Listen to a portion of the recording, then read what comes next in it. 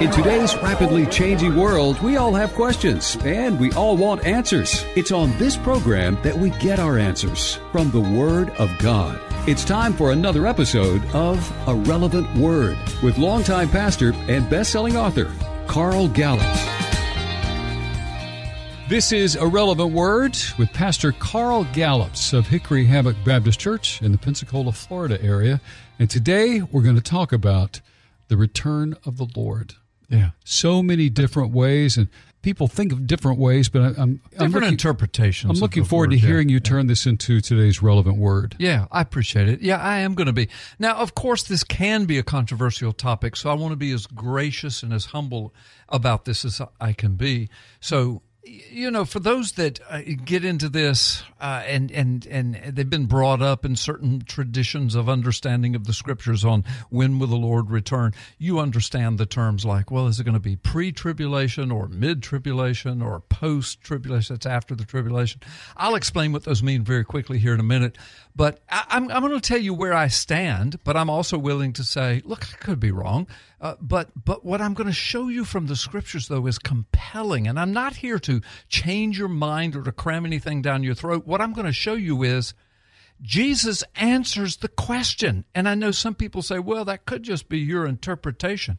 Uh, no, not in this case. Two different times, two different places, he says the same things, and he says it will be just like this. And I will quote those to you in a moment. But folks, when Jesus says the return of the Son of Man will be just like this. And then he tells you what that like this is.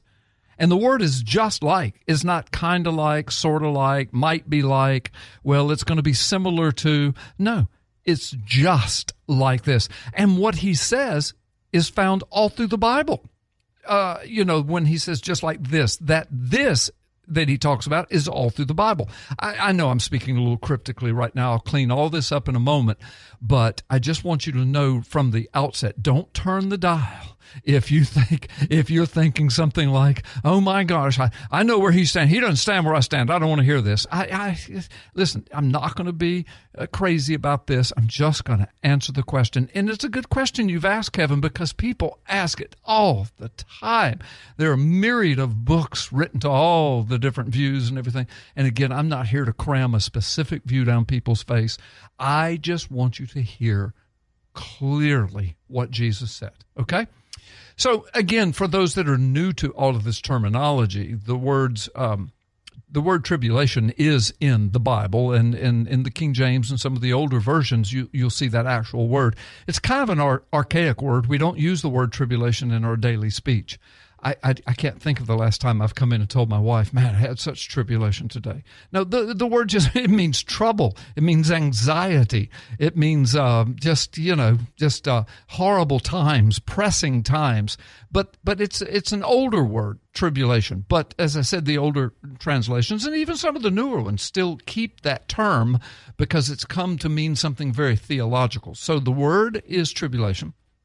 And, and then, you know, pre tribulation rapture. The word rapture, people say, well, there, there's no rapture in the Bible. You don't even find that word. Well, you do in the Latin version.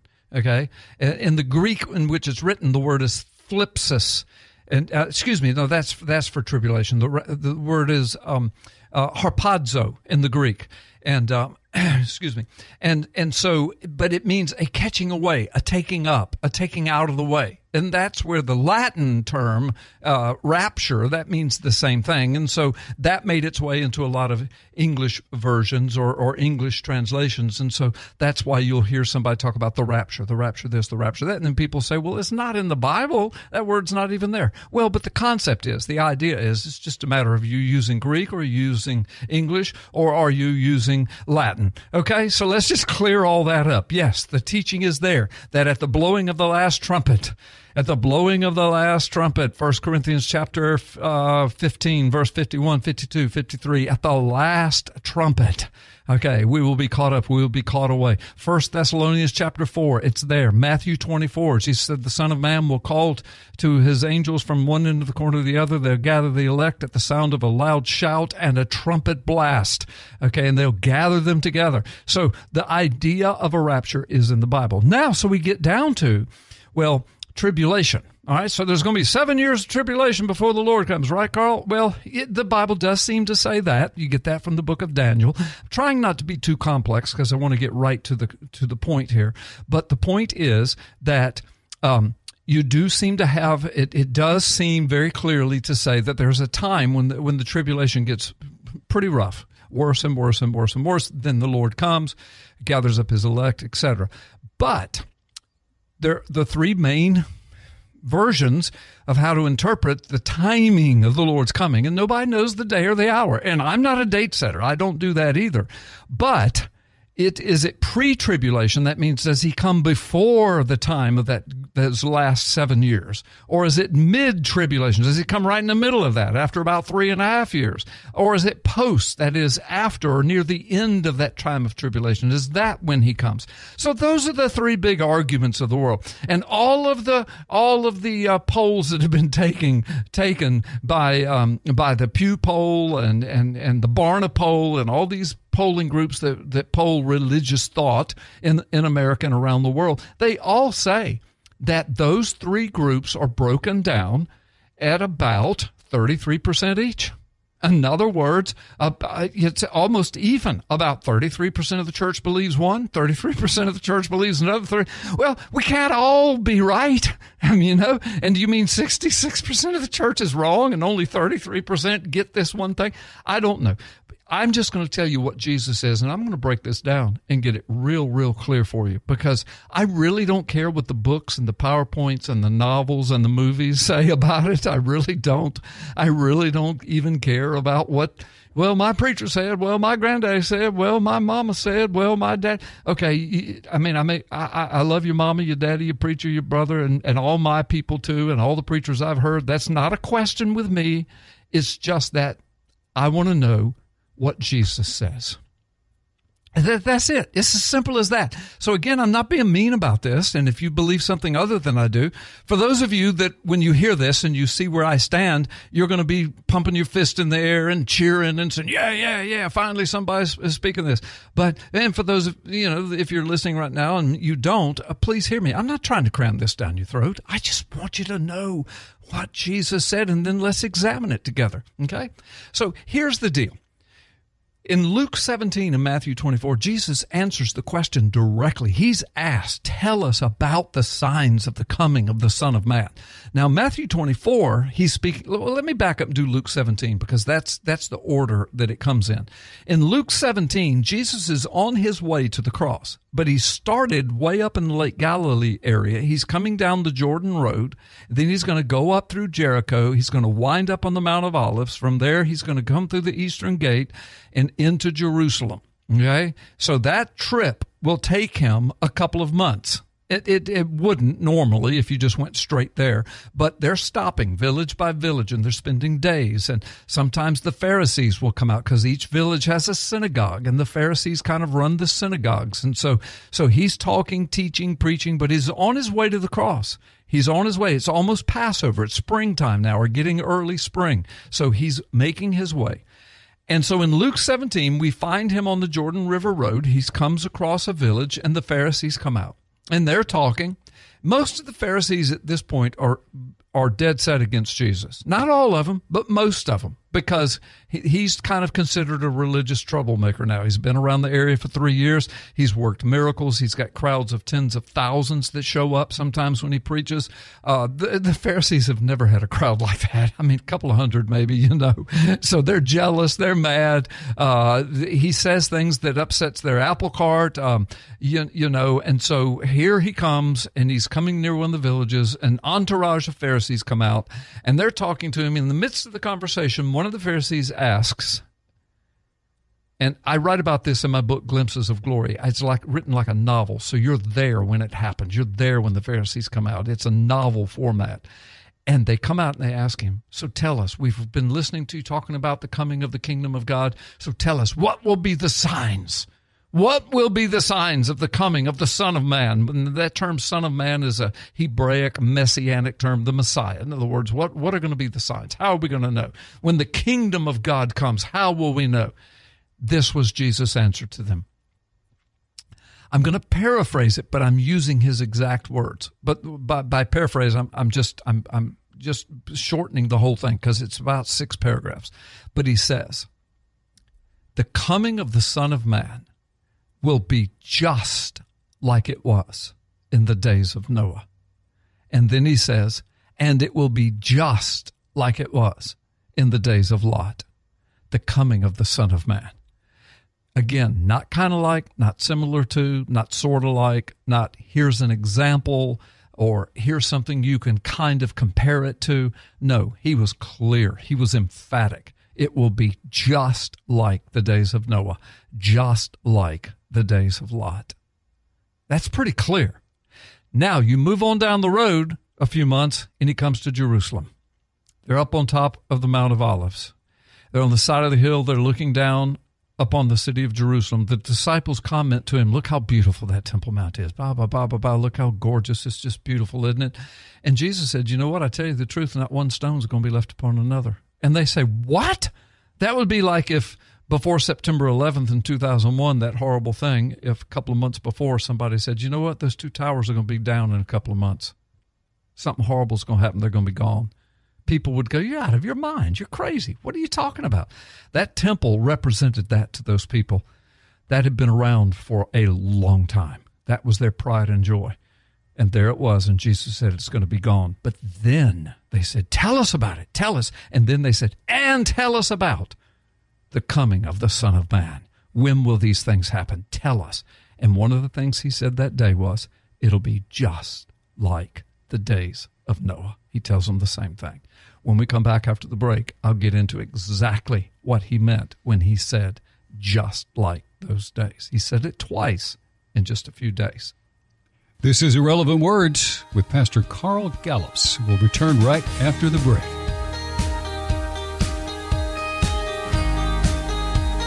For more on Pastor Carl or to listen to his podcast anytime, visit carlgallups.com.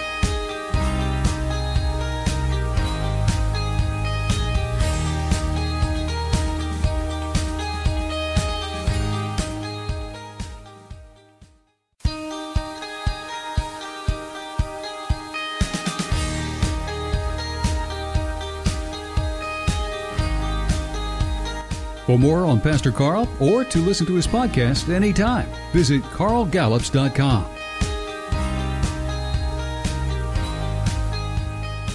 This is a relevant word with Pastor Carl Gallups. I'm Kevin King. Now, Pastor, we're talking about the return of the Lord, yeah. but we're talking very specifically. Yes, we are about the return, which can be controversial. Lord. But I, I'm I'm being nice. Yes.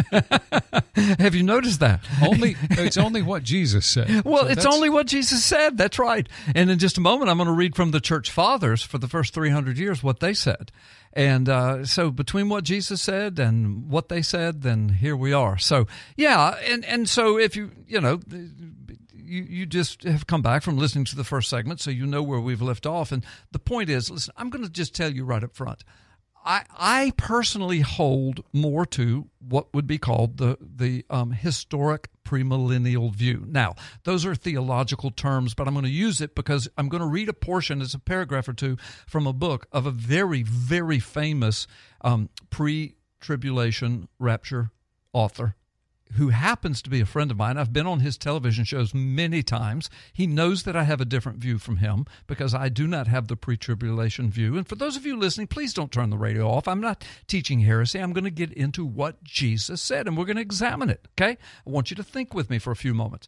But I'm also going to tell you what this gentleman, David Reagan, Dr. David Reagan, uh, the head of Lamb Lion Ministries. Again, I've been on his TV shows many times. We've had I, I, I preached a conference for him in Dallas one time, a huge conference, and uh, I was invited by him, invited back to preach another one by him. So I'm just telling you, I'm not just pulling this stuff out of my back pocket. I know what I'm talking about. Okay, now so the historic premillennial view says basically that the that the coming of the Lord is is it coincides with the rapture of the church. We know there's the rapture. Three different uh, chapters. Actually, there's four places in the Bible. There's even one of them, the book of Revelation, that talks about it. That's another show, though. But the three that I've already quoted to you, 1 Corinthians 15 and, and 1 Thessalonians 4 and Matthew 24, where it talks about the rapture and the trumpet sound and the shout from heaven and the calling of those on the earth that are still left or ca- caught up in the clouds and sky and et cetera, et cetera. That's the rapture of the church.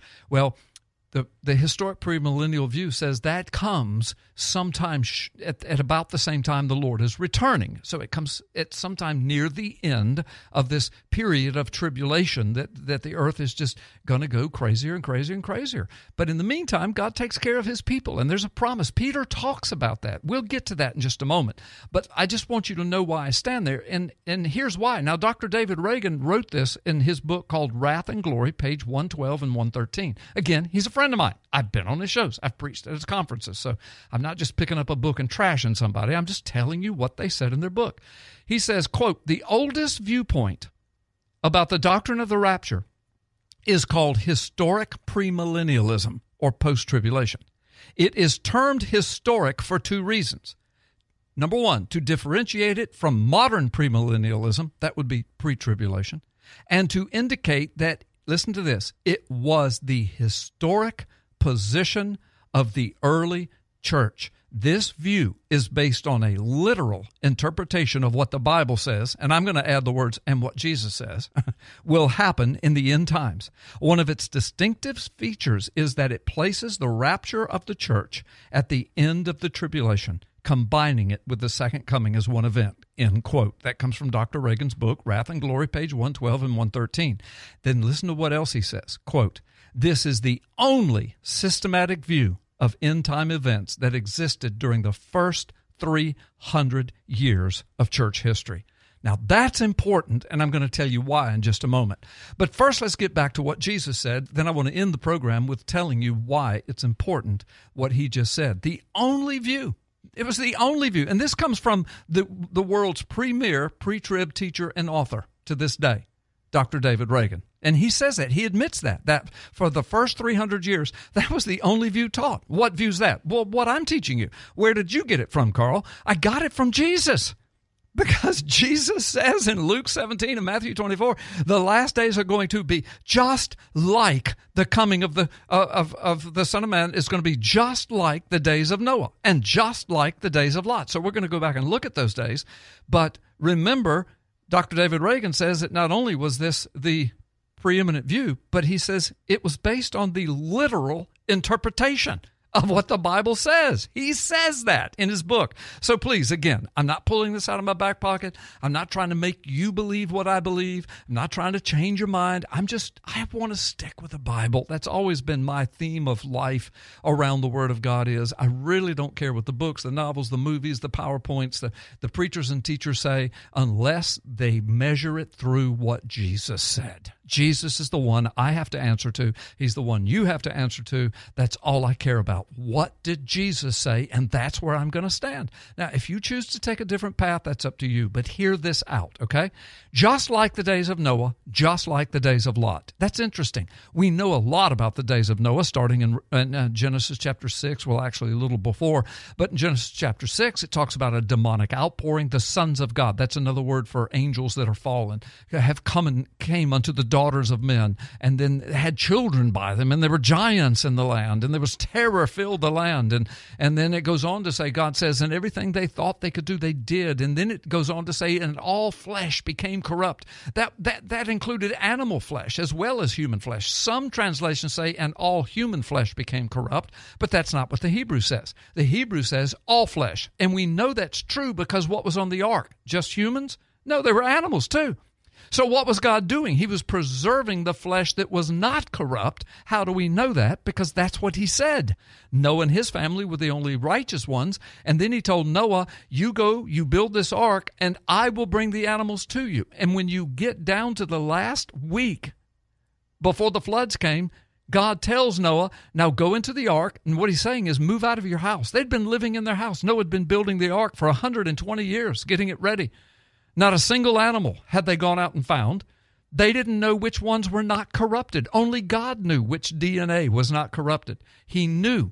And the Bible says that God said, Move out of your house one week from today, the floods will come. Now, He didn't give Noah the hour, but He gave him the day. But He gave him the day only one week before it happened. He said, Move out of your house, move into the ark. The ark apparently had some like a living room, some bedrooms. It had a little house in it for the, his family, but then it had all these cages and all these stalls, everything ready. He said, "Move in, and then the rains will come." So, uh, so it, and went seven days. So some people will look at that and say, "Well, see, that represents the rapture." I mean, because now they're taken out of the way and now they're protected. But that's not. Keep reading the Bible. That God brought the animals. It says four different times. No, three different times. It says, and God brought the animals to them. God brought the animals to them. God brought the animals to them. So what did Noah and his family do? They were in and out of that ark all day, every day, rounding up the animals, getting them inside, getting them into the cages, getting them in. They they weren't hiding. They weren't there behind closed doors. The doors were opened. The Bible says that the doors only closed at the hand of God. God closed the doors right after the flood started. It doesn't say Noah shut them. He didn't. It says God shut them. God brought the animals. Why did God bring the animals? He knew which ones were not corrupted. He knew which family was not corrupted. And his family represents the church of the last days, if you will, Jew and Gentile, believers in Jesus Christ who have not corrupted themselves in the ways of this world, and they have been put they are under the blood of Christ. They will be raptured. That's what the ark and the flood is about. It's a picture of being lifted up above the wrath of God that comes down upon the earth. God pushed the reset button. He destroyed every living thing except for what he put on the ark. That which flesh was not corrupted. So Noah and his family lived in the midst of the worst times the world had ever seen, yet they were protected.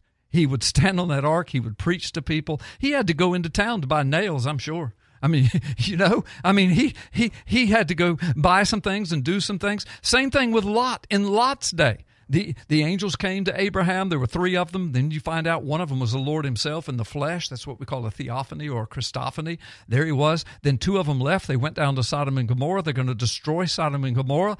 And but he went to Lot's house, the only ones there that weren't corrupted. In fact, Lot was trying to beat people off this house because they were trying to have uh, marital relations, if you will, with with the the men who were angels, but they didn't know that they looked like men that had shown up at his front door door.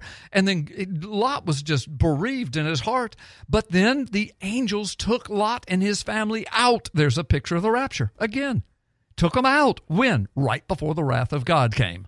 Okay? He took them out. He took Noah out right before the wrath. He took Lot out right before the wrath. But what does Peter write about this in 1st and 2nd Peter? I'm going to paraphrase it, but here's what he says. He says, If God knew how to take angels in the days of Noah, and put them in dark dungeons because they stepped out of their boundaries. And I'm paraphrasing, but that's what it says. If he knew how to do that, and if he knew how to take care of uh, uh, Noah, a preacher of righteousness in his day, and his family, and if he knew how to take care of Peter, a man who was crushed in his heart, looking at the wickedness of the world around him, and if he knew how to do that, won't he know how to take care of you in the last days? So the whole thing is I tell people, look, I could be wrong, but but Jesus says it so clearly and he tells us what to look at and when you look at it, there's the pattern. And it just doesn't fit a lot of what's being taught in the churches today. I don't care what's being taught. I mean, your pastor may be awesome, the, the, the denomination you're in may be awesome, maybe some lovely, lovely people. But when it comes to stuff like this, I want to know what Jesus says in context, in the Word. I want to know what the Word says. And that is as clear as it gets. It will be just like the days of Noah, just like the days of Lot. And Peter writes about the days of Noah, days of Lot. He says it'll be just like that. Don't fret. God's got this. He knows how to take take care of you. And here we are. And I tell, Kevin, I tell God's people today, even today, who, who listen to this, say, well, I was taught we were going to be taken out before anything bad happens. Look, something bad is always happening. Mm-hmm. Always. I say, keep your eyes on Jesus. Pay the bills, mow the grass, plan for the future, but keep your eyes on Jesus. He's got this like he did with Noah, like he did with Lot. Our world's going out of its mind, but we belong to Jesus. Jesus doesn't say Christians will be taken out before the bad habits. Yeah, the bad has been happening since the days of the flood and since the rebuilding of the earth and has gotten worse and worse and worse and it's going to continue to happen. And Jesus said, In this day you in in this world you will have tribulation. But first Thessalonians chapter five says, But you God's people have not been appointed to suffer the wrath of God. In other words, we will be taken out before God pours out his wrath. And that's what the days of Noah and the days of Lot illustrate. And that's what Jesus said. And that is comforting. It is, because I just get on with life. I see the world falling apart all around me, but I just keep living for Jesus. This is A Relevant Word with Pastor Carl Gallups. Yeah, thank you so much for listening today. May the Lord bless you and keep you always. Now more than ever, we need to listen to God. He still speaks through His Word, the Bible. Each week, Pastor Gallups shares what the Word of God is saying, even now. A relevant word with longtime pastor and best-selling author Carl Gallups. To access Pastor Carl and to listen to his podcast anytime, visit carlgallups.com. Thanks for listening. Ladies and gentlemen, prepare yourself for a brand new book from critically acclaimed best-selling author Pastor Carl Gallups, The Yeshua Protocol, an explosion of divine revelation for our unique generation. Carl Gallups takes you on a whirlwind tour through the scripture like you've never experienced. Discover the undeniable Yeshua codes buried within the pages of the Old Testament. Learn the inescapable reality that every living cell in creation is encoded with the very name of God. And be shocked when you see what has been secretly lying within the pages of the Bible that allows you to see Yeshua as you've never before fathomed him. Yeshua Protocol mentions a wide variety of topics such as quantum physics, ancient Hebrew letter meanings, the latest archaeological finds, and Yahweh's name encoded upon our very own DNA. Do you really cover all of these topics in the book, The Yeshua Code? All of those and many more. Yeah. Yeah. I mean, we're living in incredible times. And, and you know, you speak of, for example, internet technology and all that that entails. You know, I describe it as we are looking at the tree of the knowledge of good and evil.